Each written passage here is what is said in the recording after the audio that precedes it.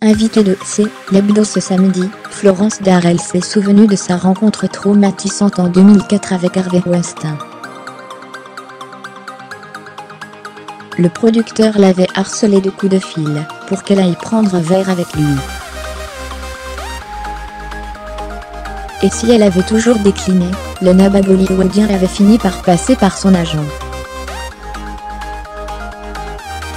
C'est ainsi qu'elle s'était retrouvée dans sa chambre du Ritz, pour ce qu'elle pensait être un rendez-vous professionnel, sauf que le mania lui avait de suite proposé d'être sa maîtresse.